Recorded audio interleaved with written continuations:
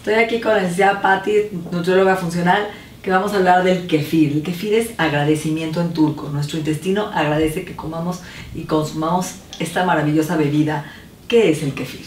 El kefir se hace a partir de estos bichitos buenos que van a llegar a vivir adentro de nuestro intestino, que son los que llamamos probióticos, ¿ok? Que es lo que nos van a ayudar a tener una flora intestinal saludable.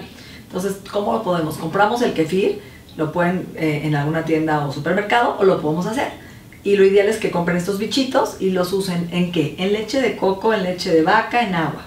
Estos bichitos necesitan primero la leche de vaca para poderse alimentar de la lactosa, que es el azúcar de la leche. Entonces, para que ellos puedan crecer y seguir vivos, primero hay que ponerlos en leche. Si queremos alternarlos con leche de coco, entonces podemos sacarlos, ponerlos una vez en leche de coco, pero luego hay que regresarlos a leche de vaca porque si no, no tienen que comer y entonces se mueren.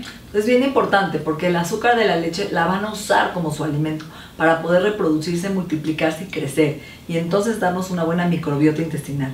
Entonces usen kefir, se los recomendamos, puede ser en ayunas, como un caballito tequilero, se lo pone, yo le pongo chía, yo le pongo canela, a veces le pongo granada, lo pueden hacer en un licuado hecho de kefir, pueden cocinar una sopa una crema con kefir, hay muchísimos usos, así que se los recomendamos plenamente a su salud.